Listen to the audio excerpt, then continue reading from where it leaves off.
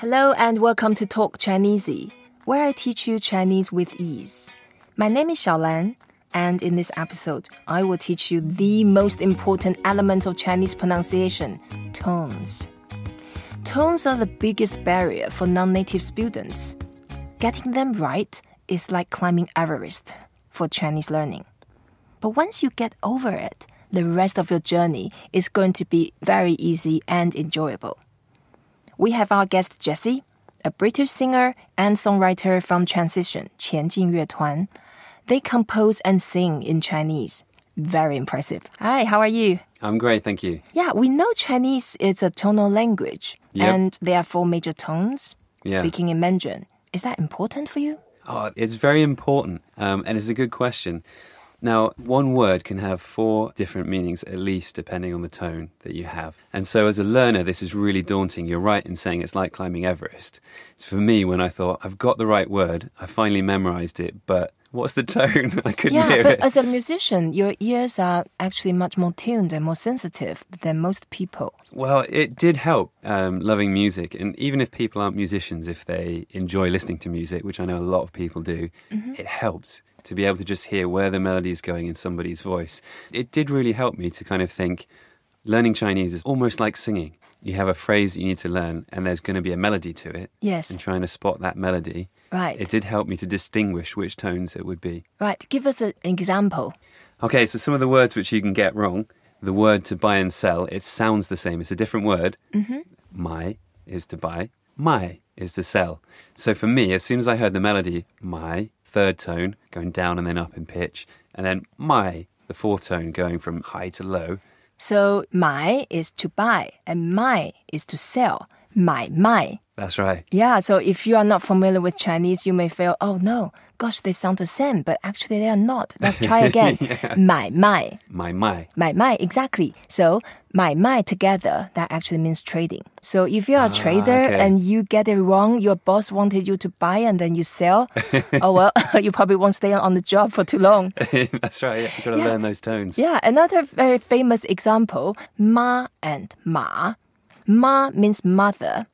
Ma is horse. Oh, yeah, there's a lot of potential for danger there. Yeah, don't call your mother horse. She's not going to be very impressed. Right. And then I know in your song, um, uh, 对不起,我的中文不好, you, you use the example when you go to the dumpling shop, you say you want some dumpling and people thought you were talking about sleeping. So 水饺,睡觉. That's right, yeah. So- you can't, you can't so- order sleep, and you know, we've No, got some funny okay. looks when that So happens. make your choice. You want to sleep or you want dumplings? yeah. Uh, let's get the four tones right, and then uh, I will give you more examples, and I think it's much easier to learn the tones that way. So let's use the word 家 as the example. 家,家,家,家. Ja, ja, ja, ja. That's the four tones using 家 as an example. Yep. 家 means home. Okay. 家, the folder, clip. Yep. 假, fake. Uh, 嫁, to marry. so they all mean totally different things. And if you don't get it right, you may marry a fake wife. 家假假嫁. Let's say that again. 家 ja, 假 ja, 假 ja, 嫁. ja.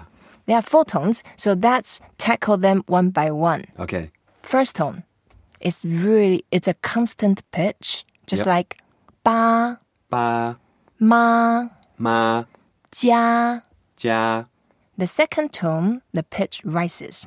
It sounds just like when you have a question in your mind, you say ah, ah, ba, ba, ma. ma, The third tone falls and then rises again. Ba, ba, ma. ma. The fourth tone is the angry tone. Angry Chinese. You go down. Just like ouch. Ouch. No, ouch is English. ba, Ba, ma. ma. Ba, in fact, it's a Chinese word for father. Ma is the Chinese word means curse in English. So when you say ma is mother, Yep. ma is horse, Yep. ma is to curse. Make sure you get it right. So let's practice the four tones again using ba, ba, ba, ba, ba. Ba, ba, ba, ba. Yes, and when you go for jogging or um, you are in the gym, um, counting your reps, you just say ba ba ba ba ba ba ba ba ja ja ja ja ga ga ga ga. just get used to it, and Yeah. then you can hear the nuance when people speak in Chinese to you. I know there are some uh, tongue twisters in English and the same as in Chinese. Do you know any? I do, but the English ones, even for me, are very hard. Oh, I know one. You know a good one. Yeah, I know a very good one. That's how I started learning English. I, I was told to say, How much wood can a woodchuck chop? Can a woodchuck can chop wood? See, that's very good. I can't believe you started off learning English with that. Yeah, and then uh, when we were younger, we had to say something in something similar in Chinese. Uh, let me show you one. 石狮寺有四十四只石狮子，不知到底是四十四只石狮子还是四十四只死狮子。Yay! And that means um, the Stone Lion Temple has 44 lions. Don't know if there are 44 stone lions or 44 dead lions. Make sure you don't mix up dead lions and stone lions. Absolutely not. And it's the same. Is it the same word with a different tone? Um, no, totally different words and different pronunciation. yeah, 石 is stone. Okay. 死 is dead. Right. Okay. I, I know I've made this mistake before, where somebody's told me, Mm-hmm. "Meet me at four o'clock," Right. and actually it's meant ten o'clock. Oh because it's No. that "sh." 石 is 10. Yeah. 四 is 4. There you go. Yeah. Right. So I got there at the wrong time. In English, it's the same. A lot of sounds sounds similar from Yes. foreign years or non-native English speakers, but actually they mean totally different things like pitch and Yep. peach. That's true. Yep. So um, it's a matter of familiarity. So everything we said about tones today, it's how your ears to be familiar with them. So please don't worry too much. The more you listen carefully, the more nuance you will be able to differentiate. That's right. And um, as an English person learning Chinese, I found don't be afraid to imitate because often by just copying someone and not worrying too much about the tones, you can get it right. The other thing is the environment. If you're in the environment, you can naturally absorb a lot of the tones. So if you're watching TV and listening to radio and out with your friends, you're going to pick up a lot. Don't be afraid to make mistakes Have very thick skin. Oh yeah, you're you're going to make mistakes, and you just have to let that go and not worry about it, um, and just try your best. Often, the mistakes will help you to remember, and you'll learn the word the best way. Thank you, Jessie, for sharing with us. Thank you for listening to Talk Chineasy, where we teach you one useful phrase of Chinese every day.